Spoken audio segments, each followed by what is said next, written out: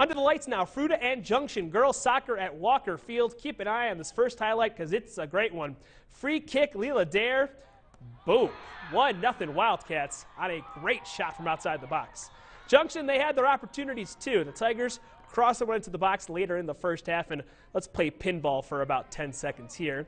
Tigers it up and forth with their head, eventually put one near the net, but it flies over and wide. Score would remain the same. Next off, a throw in so quick it fools the cameraman, but Dere is there one more time. Little flip of the ball off the foot. Late in the first half, it's 2 0 Fruita.